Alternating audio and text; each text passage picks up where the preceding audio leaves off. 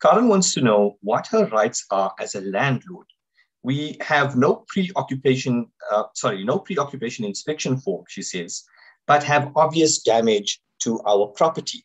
Um, can I take this off the deposit? And she wants to know, is the situation any different if an inspection was done, but no notes were made on the pre-occupation form, as compared to no inspection having been done at all?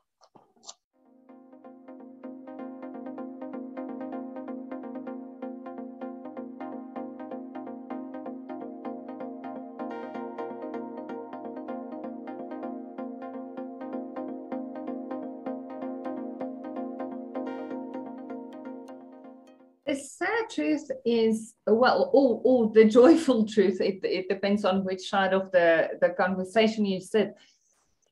The rental housing act specifically require us to do an incoming and exit inspection. And the purpose of this inspection is very clear in terms of the act. The act wants us to record the condition of the property and any defects to the property. And the purpose of the recordal of the defects is to demonstrate that these defects were in the property, so the paint were chipped or the window was broken or whatever the case might be, prior to the tenant taking occupation.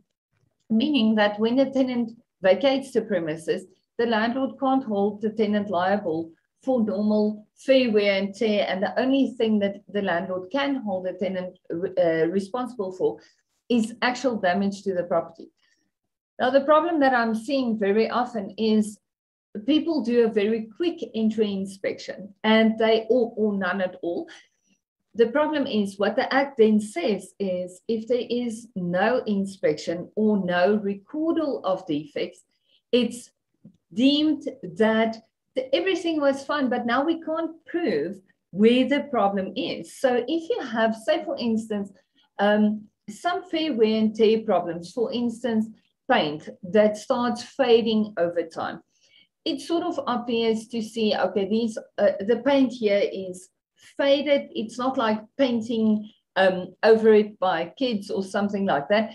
This is a, a fair wear and tear type of problem, which is landlord's responsibility. The problem is, if a landlord can't prove that there wasn't any damage to something in the property, even though it's deemed then to be all in order and any damage that was caused might have been caused by the tenant. Unless you can show as a landlord that this window was actually in good order and it wasn't broken, it wasn't cracked. If you can't prove that the damage was in fact caused by the tenant, you sit with a massive issue. The act is actually quite simple and says all the landlord has to do is when you can show there wasn't a defect to the property. Now on your exit inspection, there is a defect. The only thing a landlord has to do is to show um, the receipt of the repairs to the tenant. So, so why this is pleasant is you don't have to go through all the effort of getting multiple quotes. You can just fix it and deduct it from the deposit. The problem is, if you are a landlord and you didn't do an incoming inspection, or you did an incoming inspection and you did not just record the defects and the, the actual true condition of the property, you can't demonstrate that these defects were in fact caused by the tenant, you're left in a position where you're going to have to show actually that these defects were caused by the tenant. And the truth is very often um, the process of showing that is so the, uh, you know, time consuming and costly that it almost makes no sense. So unfortunately, in most instances, where you can't, where you didn't do a full, complete entry inspection and recorded not only the defects, but also the true condition of the property. My advice is always take photos, not just of a room, take proper photos of every wall, of every window, of every door, of every handle. So you can actually show this door handle was lacquer um, at the time of the tenant taking occupation, and now there's no door handle left. It's very easy for a landlord to demonstrate that this was obviously, this damage was obviously caused by the tenant. If you have a slightly quickly done entry inspection and you're like, everything is fine. And but there's this one cracked window. Okay, that is unlikely. And you can't easily demonstrate that there was no other defects to the premises. So it's a very tricky situation. So the truth about entry and exit inspections is unless they are done thoroughly, like every room, room by room, item for item recorded, it was in order, now it is no longer. You do you are going to have you are going to have an uphill battle trying to collect that money um, from the deposit. However, the, the good news is if you do it correctly, if you actually record this is the living room, everything is fine, there's a bit of a paint problem there, that window has a slight crack in it, everything else is perfect, and you have photos. It's as simple as when the tenant vacates the premises and you do your exit inspection and you see, oh my goodness, now you have an issue um, with paint that uh, that's not the way it should be, windows are cracked, whatever the case might be. It's as simple as providing the tenant with the receipts of their repairs, deduct it from the deposit, and it's as simple as that. So unfortunately, if you do not have proper entry and exit inspections, um, you are going to have an uphill battle uh, on collecting it. And honestly, I would be reluctant to advise anybody to simply deduct money from a deposit unless they can properly show that this damage was in fact caused by the tenant. Otherwise, uh, you might run into quite a few problems. Well, thank you so much, Cilna. I think the bottom line there, like you're saying, reiterating, is record, record, record. Uh, there's just do everything you can to jot all the information down so you never run into problems again. Thank you for and that, photos. Yes. Uh, uh, yeah. Photos with reference, definitely. Thanks, Cilna. Right. So here goes. Here's the next question. Zita says she had a huge disagreement about the legality of a particular matter with someone who indicated to her that there was a company that manages to register a tenant's rent and electricity all on one bill.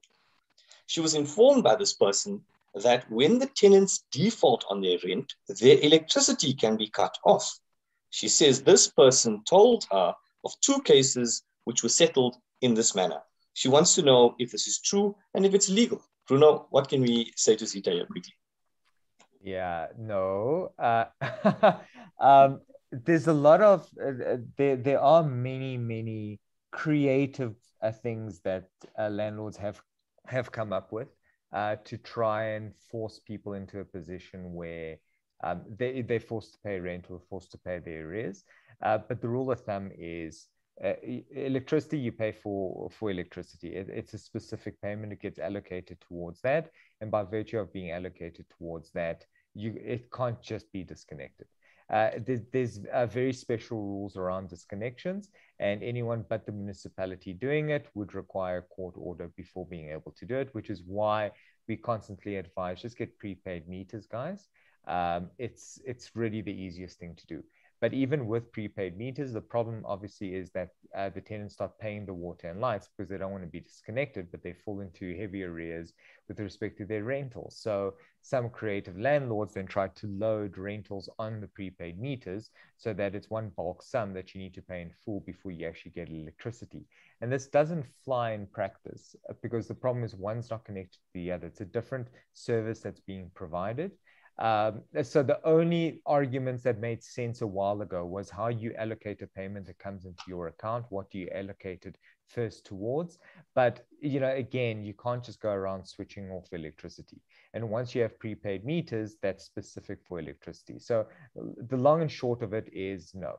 Um, I've seen a lot of ways that come close to working, but that's very specialized. And it's not like I told Solomon before. I mean, this is when I'm working with my industrial clients and my commercial clients that have different ways of running businesses and different structures.